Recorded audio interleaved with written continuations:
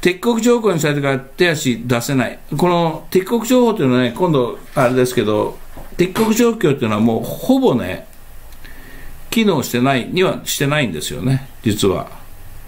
でもうなくすみたいなところですけど、もう今になってはもうこれ、この事態をその話し合うよりも他の優先課題があるというぐらいあの低くはなってるんですよ。ただ日本としてこの敵国条項というのは絶対に発させなきゃいけないですね。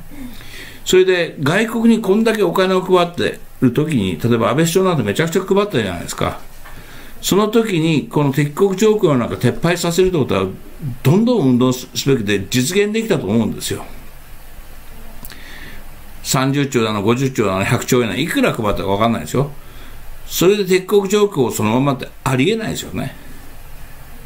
同じ予算をね、我々はもらってあちこちの国説得していって、やりなさいって言われたら、まあできるでしょうね。まあお金だけでやっちゃいけないんでしょうけどね。でも、この敵国条項は外さなきゃいけないです。ただ敵国条項っていうのはもう本当、ほとんどね、皆さん調べてわかりますけど、あのー、死みたいなあれですよね。山田太郎が先生、党首討論で、敵国条項も日本は保護観察処分中だと抜かしていたんですか？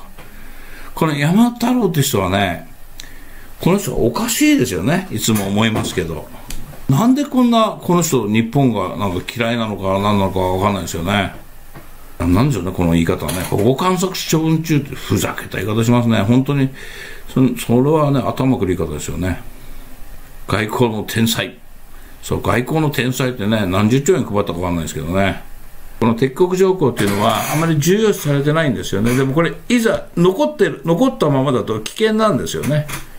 いくら普段は関係ないみたいな感じですけど、でもいざ、いざ日本が何かやった時にね、いきなりこの敵国条項がゴンゴンゴンゴンって上に上がってきたら危険ですよね。